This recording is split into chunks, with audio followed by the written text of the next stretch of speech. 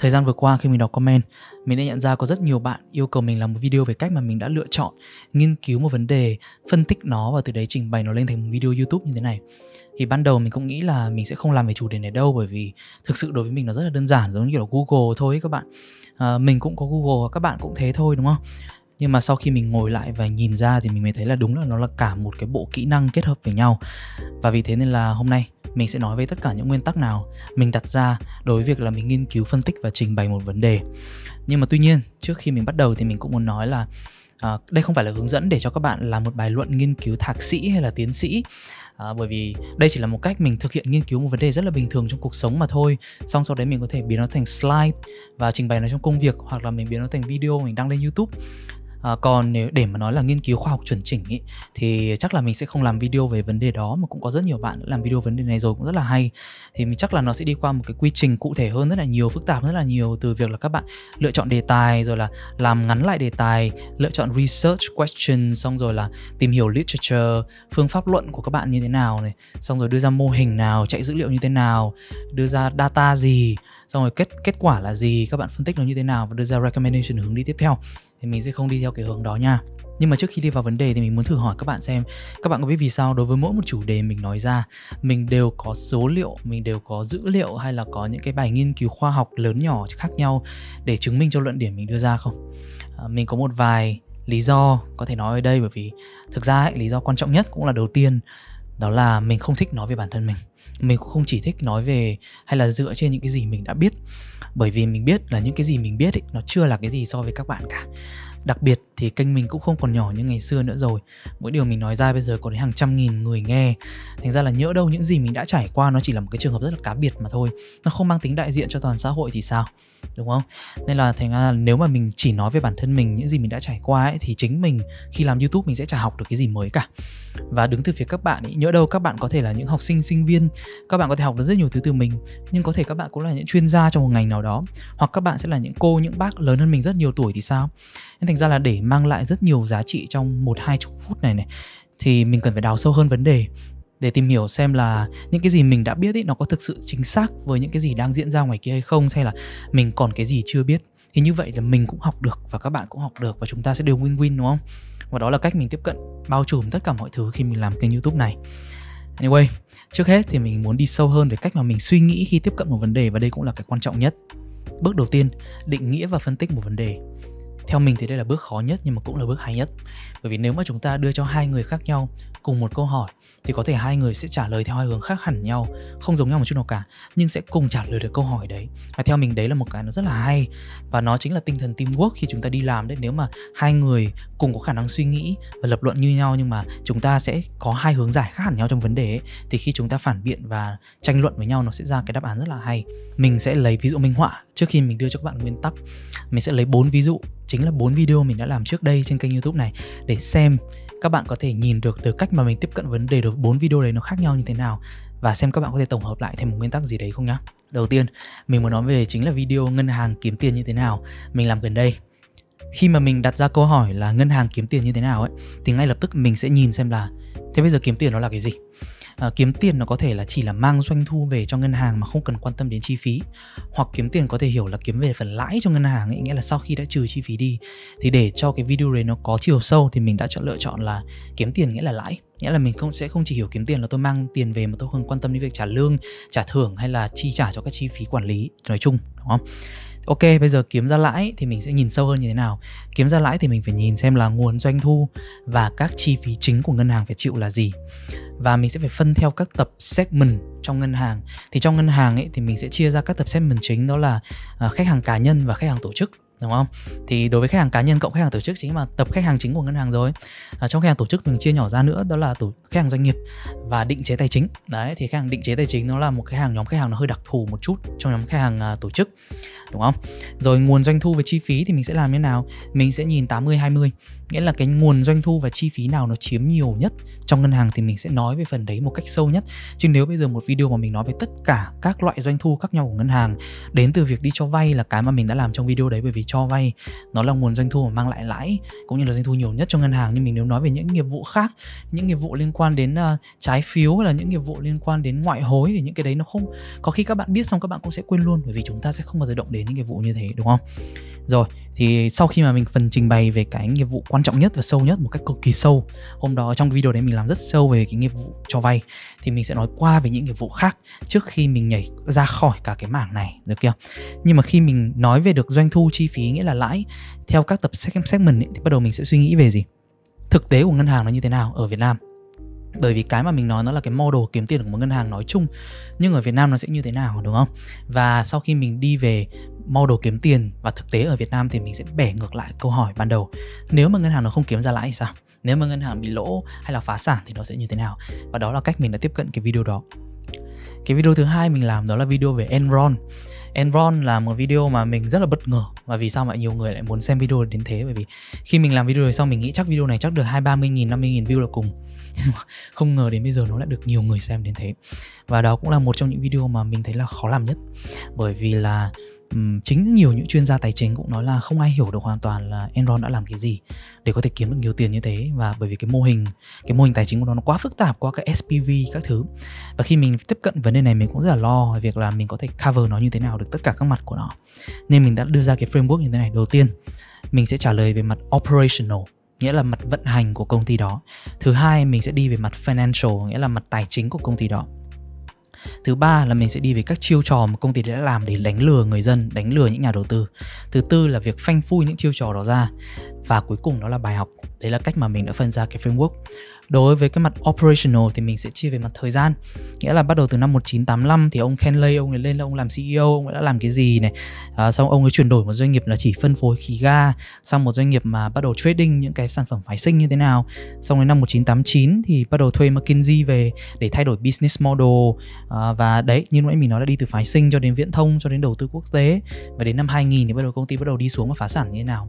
Về mặt tài chính ấy, thì mình sẽ đi về từ sổ sách ra đến thực tế sổ sách nghĩa là gì? À, sẽ đi về mặt uh, financial statement đấy. Uh, báo cáo tài chính xong đến lưu chuyển tiền tệ xong rồi là đi ra ngoài thì mình sẽ nhìn về uh, giá cổ phiếu thực tế của công ty đấy như thế nào đối với các chiêu trò nổi bật thì mình sẽ đi về mình sẽ áp dụng nguyên tắc 80 20 nghĩa là mình sẽ sử dụng những chiêu trò nào mà cái công ty làm mà nó lừa được nhiều người nhất và nó tạo ra được nhiều lãi suất và lợi nhuận nhất. À, nhiều doanh thu nhất thì mình sẽ nói về những cái đấy nó bao gồm là gì? À, fake báo cáo tài chính này chứng khoán hóa qua SPV hay là mua chuộc công ty kế toán và một phần cuối cùng là mình để vào để cho nó đầy đủ nó là những chiêu trò khác rồi phần phanh phui thì mình sẽ đi về thứ tự thời gian. Nghĩa là khi bắt đầu bị phanh phui thì ai là người lật mặt? Lật mặt xong thì công ty bị thế nào? Ai là người bị bắt? Và cuối cùng công ty đấy phá sản và đền bù như thế nào? Cuối cùng nó là bài học. Đấy là video thứ hai với video thứ ba mình làm đó là tư duy win-win. Khi mình nhìn về tư duy win-win ấy, mình nghĩ nó là gì? Ok đây là chủ đề mà mình nói về mối quan hệ giữa hai người giữa người với người đúng không? Và khi mà mình nhìn một cách đơn giản về kết quả của một mối quan hệ với cái người đang tham gia vào mối quan hệ đó thì chúng ta sẽ chia thành hai hướng đó là kết quả dòng là chúng ta được lợi từ nó hoặc là chúng ta bị hại từ nó đúng không? Được lợi nghĩa là win bị hại là lose. Từ đấy mình sẽ có bốn hướng phân tích đó là win win win-lose Lose-win và lose lose thì đó chính là bốn cách bốn hướng phân tích của cái video đấy. Đối với mỗi một cái nguyên tắc như thế là win win là mối quan hệ cả hai bên cùng có lợi win lose là một bên có lợi một bên không có lợi đúng không? Thì mình sẽ đi về những ví dụ thực tế để cho chúng ta hiểu là ok nó là cái gì. Chứ nếu mà chỉ đưa ra cái lý thuyết thì nó rất là chán đúng không? À, sau mỗi một ví dụ thực tế đấy thì mình sẽ tổng hợp lại bằng một ví dụ của mình. Đấy, mình sẽ đưa cái personal touch của mình vào cái video để cho nó có mang tính cá nhân hơn, chứ nó không chỉ là một bài thuyết trình mà ai cũng có thể nói được, đúng không? Và cuối cùng nó là giải pháp video thứ tư mình mình muốn đưa ra ở đây để lấy ví dụ cho các bạn chính là video mình dậy 5 giờ 5 rưỡi sáng um, qua 6 tháng thì nó như thế nào. Thực ra là khi mình làm video đấy thì mình thực sự làm video đấy để cho nó vui thôi chứ mình không có ý gì làm video đấy là để để nó thành kiểu nhiều người xem đến như bây giờ. Bởi vì khi mình làm video đấy thì mình không có ai subscribe mình cả mà là một kênh kênh hồi đấy còn rất là nhỏ. Và mình bị nhốt ở trong nhà do covid quá lâu. Thành ra là mình mới thử nghiệm cái câu chuyện là tại sao mình không dậy sớm từ năm rưỡi sáng ở trong nhà xem là mình có productive hơn không. Tại vì khi mà mình bị nhốt ở trong nhà đấy mình thấy là mình rất là lười. Đó và mình đã tiếp cận bằng việc là mình đã đưa từ thực nghiệm bản thân mình thay vì việc là mình đưa đi từ lý thuyết như những video trước đây. Thực nghiệm bản thân mình mình sẽ nói về việc là mình thí nghiệm dậy năm rưỡi sáng như thế nào này. À, mình đặt ra nguyên tắc gì cho bản thân bao gồm là mình không uống cà phê mình ờ, không đặt đồng hồ báo thức mình không dậy muộn cuối tuần nghĩa là mình sẽ dậy năm rưỡi sáng xuyên suốt từ thứ hai đến chủ nhật. Rồi sau đấy là mình sẽ đi về kết quả. Đấy. kết quả nó là gì? Tích cực hay là tiêu cực? Sau đó thì bắt đầu mình lại tự hỏi bản thân là, nếu mà bây giờ mình quay ngược lại cái nguyên tắc lập luận ban đầu của kênh youtube ấy, mình chỉ là một cá thể rất nhỏ trong xã hội mà thôi. Nên là nếu mà mình chỉ nói về việc là tôi đưa ra cái cái cái cái cái thí nghiệm như thế. Tôi thấy nó có lợi. Chưa chắc nó đã có lợi cho các anh đúng không? Chưa chắc có lợi nó đã có lợi cho các bạn. Nên thành ra là mình phải bẻ ngược lại chính luận điểm của mình bằng việc tự hỏi là nếu bây giờ mà một người dậy muộn thì người ta như nào? Nghĩa là một người cú đêm ấy thì người ta có lợi không? Hay là những người dậy sớm như mình thì người ta có lợi hơn? Và cuối cùng là mình sẽ hỏi câu hỏi là hai người cú đêm và và dậy sớm ấy, nó có thể thay đổi được cho nhau không? Đó chính là cách mình tiếp cận cái video đấy. Rồi với bốn cái video vừa xong các bạn có nhận ra nó có cái điểm chung gì không? Uh, thực ra ấy, thì mình đã áp dụng rất là nhiều những nguyên tắc lập luận phân tích và để ra được cả cái cái cái, cái framework cho bốn cái video như thế. Nhưng mà nó đều chung một số những nguyên tắc và mình xin được phép đưa ra là ba nguyên tắc chung ở đây. À, và cũng là ba nguyên tắc quan trọng nhất trong để mình ra được những video như thế. Nguyên tắc đầu tiên mà cái mà muốn mình thực sự muốn các bạn có thể learn được học được từ những video mình đã làm đó là MIC MIC nghĩa là mutually exclusive và collectively exhaustive. Đây là nguyên tắc mà mình áp dụng cho mọi tình huống của cuộc sống. Khi mà mình nghĩ về bất cứ một vấn đề gì, cũng là nguyên tắc mà mình đã training cho chính nhân viên của mình ở công ty bây giờ. Mutually exclusive nghĩa là triệt tiêu lẫn nhau. Bây giờ mình thử hỏi các bạn một cái câu hỏi nhé các bạn hãy mô tả lớp học của các bạn đi. Đấy thì ví dụ giả dụ như lớp học của các bạn có 40 người đi Thì bạn có thể nói là ok lớp của mình có 15 nam và 25 nữ Đó thì đấy chính là một câu trả lời mutually exclusive Nghĩa là sao? Nghĩa là nó nam với nữ thì chúng ta không thể trùng với nhau được rồi Nên thành ra là nếu mà nói 15 nam và 25 nữ thì chắc chắn là 15 cộng 25 bạn đó Sẽ là không bạn nào vừa là nam vừa là nữ Ở trong cùng một cái tập thể được đúng không? À, nhưng mà nếu mà các bạn nói là lớp của các bạn có 20 bạn thích chơi cầu lông và 20 bạn thích chơi thích đi bơi và trong đấy sẽ có lòi ra 5 bạn thích vừa chơi cầu lông vừa đi bơi. Các bạn có nhận ra nó bị trùng nhau cái gì không? 20 bạn chơi cầu lông và 20 bạn đi bơi ấy, thì thực ra ấy, cái số lượng bạn chỉ thích chơi cầu lông nó là 15, số lượng bạn chỉ thích đi bơi nó cũng là 15. Có 5 bạn thích chơi cả hai đúng không? Và thành ra là câu trả lời các bạn không mutually exclusive nghĩa là nó không triệt tiêu lẫn nhau. Các bạn nói 20 bạn này 20 bạn kia nhưng thực ra cộng vào nó không phải là 40, đúng không? Nếu mà các bạn chỉ chơi cầu lông hoặc là chỉ đi bơi thì cộng vào nó chỉ là được là 35 mà thôi. Cộng với là cái cái cái phần trùng ở giữa nữa. Tiếp theo, collectively exhaustive nghĩa là bao phủ mọi khía cạnh. Cũng lấy nguyên cái ví dụ lúc nãy thôi. Nếu mà các bạn cộng 15 bạn chỉ thích đi bơi, 15 bạn cậu chỉ thích chơi cầu lông với 5 bạn thích chơi cả hai môn thì chúng ta vẫn còn thiếu 5 bạn năm bạn này là năm bạn không thích chơi cả môn nào cả Đấy và nếu mà các bạn mô tả một lớp học 40 người bằng việc là kể ra một nhóm thích chơi cầu lông, một nhóm thích đi bơi thì các bạn vẫn bị thiếu. Và đó chính là không bao phủ mọi khía cạnh. Một ví dụ khác về MISI chính là mô hình SWOT mà tất cả những bạn học kinh tế tài chính các bạn đều biết đúng không?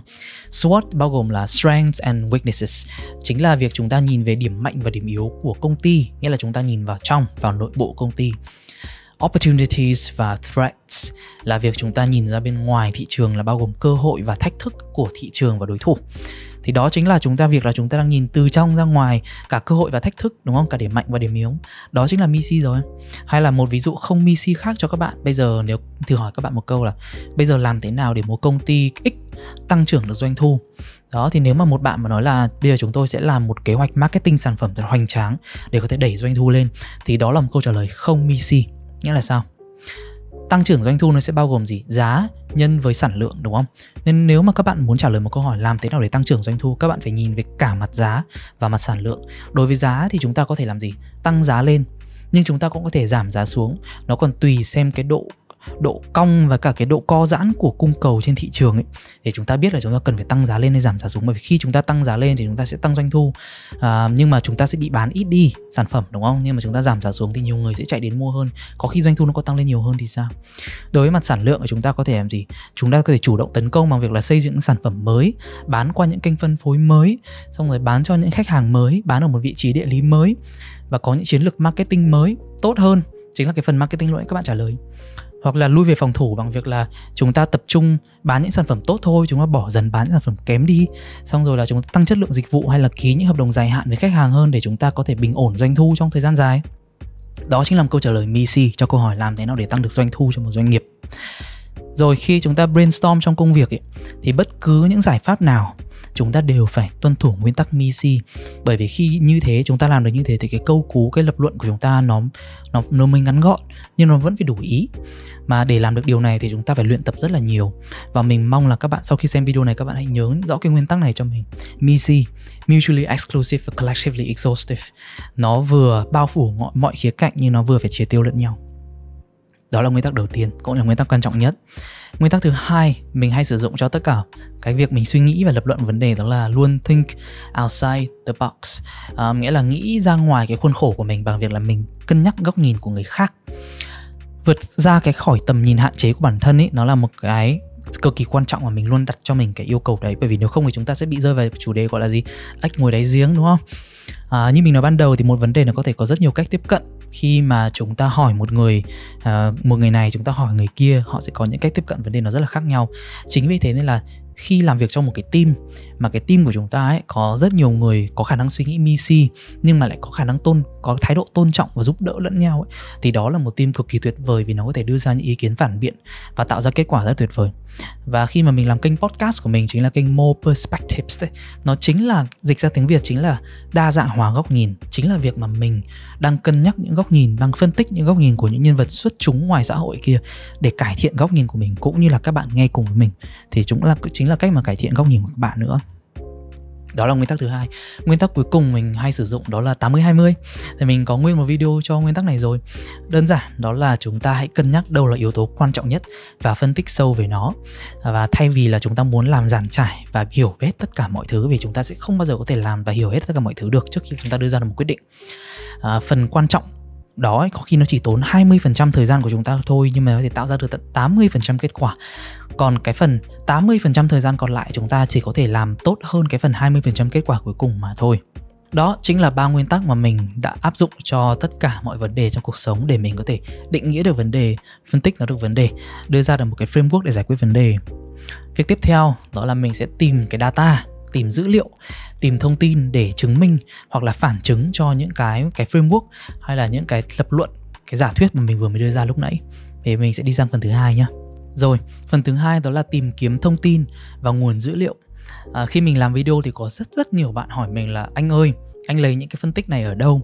Anh lấy những thông tin này ở đâu? Tại sao anh lại biết được đến cái bài nghiên cứu đấy? Thì thực ra là khi mà mình nói ra thì các bạn sẽ thấy rất là bất ngờ bởi vì thực sự nó rất là đơn giản nó là Google thôi các bạn ạ. Không có gì hơn cả. À, và thực sự thì nó đều có nguyên tắc của nó. À, và không chỉ không chỉ mình này không chỉ những doanh nghiệp hay là không chỉ những công ty chuyên về phân tích nghiên cứu thị trường ai cũng đều thực hiện theo cái nguyên tắc này đó là nghiên cứu primary research hoặc là secondary research. À, mình không biết tiếng việt là gì mình có thể dịch tạm thời nó là nghiên cứu chủ động và nghiên cứu bị động. Uh, primary research là nghiên cứu chủ động nghĩa là bạn chủ động tạo ra dữ liệu để chứng minh hoặc là phản chứng cái giả thuyết của các bạn nghĩa là chủ động các bạn tự đi tìm cái dữ liệu đấy. Các bạn tự tạo ra cái dữ liệu đấy để chứng minh. Còn ngược lại thì đó là secondary research nghĩa là nghiên cứu bị động là việc chúng ta sử dụng cái nguồn thông tin mà do người khác đã đi nghiên cứu sẵn. Chúng nghĩa là chúng ta đi google đấy chúng ta lấy thông tin của người khác đã làm sẵn tổng hợp lại để tự chứng minh phản chứng cái um, cái giả thuyết của chúng ta ban đầu. Nguyên tắc thì như thế nhưng mà hầu hết ý, mình thì khi mà mình làm youtube thì mình sẽ thực hiện secondary research mà thôi. Bởi vì là mình chỉ là một youtuber rất là nhỏ thôi đúng không? Um, việc mà mình mình không có một đội nghiên cứu thị trường hay là có một đội đi làm survey đi làm khảo sát thị trường để có thể um, phỏng vấn người dùng là phỏng vấn những chuyên gia để cho mình những cái dữ liệu nó nó nó mới nhất hay là đầy đủ nhất để có thể đưa ra một cái luận hợp lý. Thành ra là mình sẽ chỉ đi làm secondary research mà thôi nghĩa là mình sẽ đi uh, tìm hiểu là bằng việc là đi google những thông tin và những cái bài báo cáo nó đã có sẵn ví dụ như là một ví dụ thực tế đi, quay trở lại cái video về mình, việc mình dậy sớm lúc 5 rưỡi sáng ấy, thì khi mà mình bẻ ngược lại luận điểm của bản thân, nghĩa là những nhóm người cú đêm ấy, thì họ sẽ có khả năng hoạt động hiệu quả hơn hay là kém hiệu quả hơn nhóm người dậy sớm. Thì hồi đấy mình mới nghĩ là có khi nhóm cú đêm còn làm việc tốt hơn những người dậy sớm thì sao? À, thì đấy là cái giả thuyết trong đầu mình. Thì bắt đầu mình phải đi phản chứng hay là chứng minh cái giả thuyết đấy bằng việc là mình đi google cái thông tin ở trên mạng. Thì mình sẽ thực hiện nào? Nghĩa là mình tìm đến những bài nghiên cứu của những thạc sĩ giáo sư tiến sĩ về việc là cái đồng hồ sinh học của cơ thể người để xem là cái khả năng làm việc của những người làm thức đêm hay là dậy sớm ấy cái nào hơn cái nào. Đấy và hơn thì hơn bao nhiêu phần trăm những cái thông tin như thế. Thì đọc 5, 7, 10 bài những bài phân tích những nghiên cứu khoa học thế thì mình bắt đầu có thể tìm thấy được một cái kết luận đúng không? Nếu mà tất cả những nhà nghiên cứu khoa học cùng đồng thuận với mình cái giả thuyết của mình thì ok quá tốt mình đưa nó vào video nếu những nhà nghiên cứu khoa học không đồng thuận với mình, thì mình đã nghĩ biết là mình ok, mình sai, và mình sẽ đưa kết quả đấy vào video.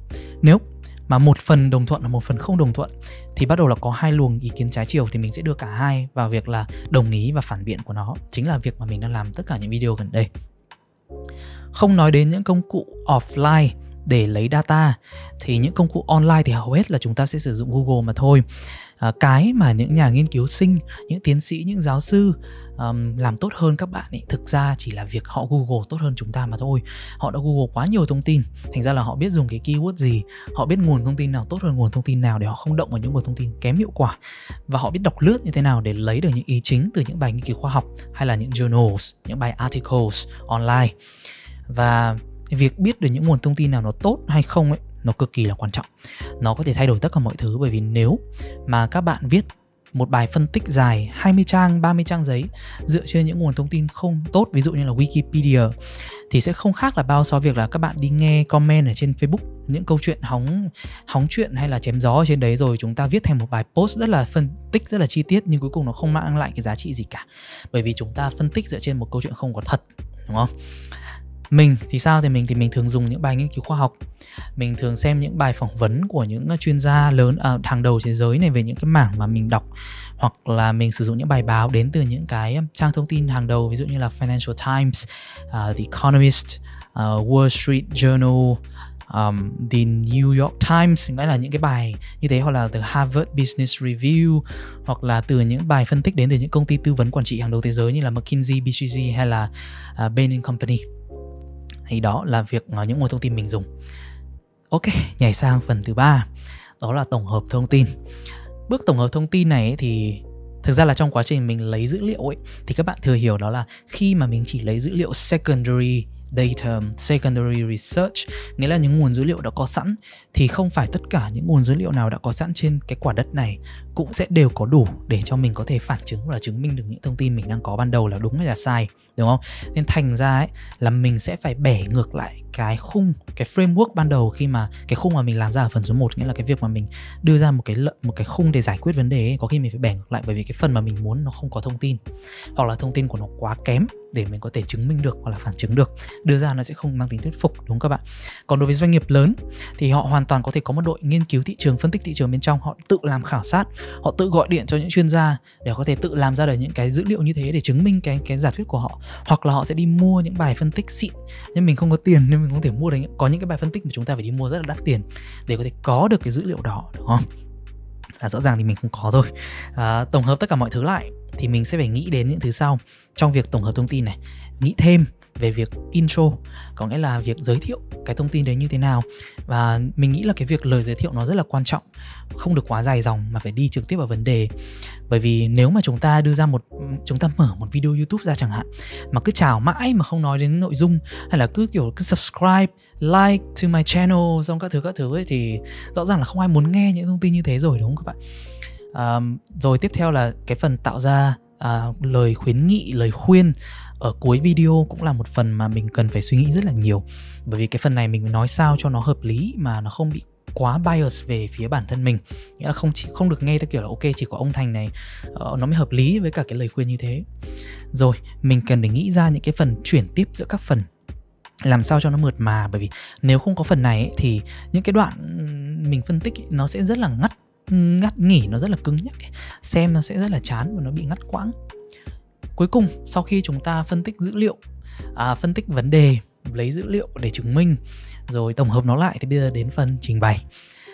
Trình bày thì đối với cả slide thì mình có rất là nhiều nguyên tắc cho bản thân để tạo ra slide làm thế nào để cho nó ngắn gọn đơn giản nhưng mà phải hiệu quả. Nhưng mà đối với youtube khi mà các bạn đang nhìn mình đây thì cần phải để ý nhiều hơn từ việc là ngoại hình của mình lúc đấy nhìn như thế nào mình mặc áo màu gì background như thế nào này xong rồi là edit hiệu ứng là gì thêm nhạc nền như thế nào mình có giọng nói như thế nào hôm đấy mình có ốm hay không mình thể hiện như thế nào ánh sáng như thế nào. Đấy thì tất cả những cái phần này nó là chủ quan đúng không? À, nó là mỗi một người người ta sẽ có một cái style riêng người ta sẽ có một cái phong cách nghệ thuật riêng trong giao tiếp và trình bày thì cách cái thể cách mình thể hiện ở đây chưa chắc nó đã đúng đúng không? Như là trong cái video trước ấy rất nhiều bạn nói mình là ô anh ơi sao anh đánh son màu hồng ở trong video đấy? Hay sao mà dương môi anh hồng hào như thế? Um, vì hay là tại sao mà video này mặt lại có mũi lại có màu da cam các thứ thì đấy là do cái việc mà khi mà mình quay thì mình đã chỉnh màu sai đúng không? Nó mới ra cái vấn đề như thế. Uh, nhưng mà thực sự ấy, thì theo mình cái việc mà chúng ta phân tích vấn đề lấy data trình bày tổng hợp à tổng hợp nó lại chưa chắc là nó quan trọng bằng việc trình bày. Mình nghĩ việc trình bày khi nó còn quan trọng hơn rất là nhiều. Vì sao lại thế? Bởi vì nếu mà chúng ta có phân tích hay đằng rời đi nữa chúng ta có làm à, có chúng ta có thể có những cái dữ liệu rất là tuyệt vời mà mua rất là đắt tiền nhưng mà slide của chúng ta xấu hoắc à, lằng nhằng khó hiểu hoặc là cách mà bạn trình bày nó không có mi si nó không có trước có sau nó không đầy đủ thì khán giả sẽ bỏ bạn mà đi mà thôi ngược lại nếu mà chủ đề các bạn nói không hay các bạn ừ, chủ đề nó không có rõ ràng nó không có được misi nhưng cách bạn nói nó rất là cuốn hút. Xong rồi làm um, gì bạn có thể làm người xem kiểu bị dán mắt với bạn này hay là bạn xinh bạn đẹp à, đội ngũ marketing của bạn hùng hậu thì sẽ vẫn có rất là nhiều người xem những thông tin mà bạn nói ra đúng không? À, nhưng mà bây giờ tưởng tượng đi nếu mà chúng ta thiếu những cái điều như mình vừa mới nói xem thì bài nói nó sẽ rất là khô khan theo kiểu là hôm nay chúng ta sẽ nói về ba ý sau. Ý một là ý hai là ý ba là kết luận là ok cảm ơn các bạn rất nhiều. Hãy like và subscribe kênh của mình nhé. Bye bye. Thì một cái video như thế nó sẽ rất là chán và đó chính là lỗi của rất nhiều những bạn youtube mới vào nghề.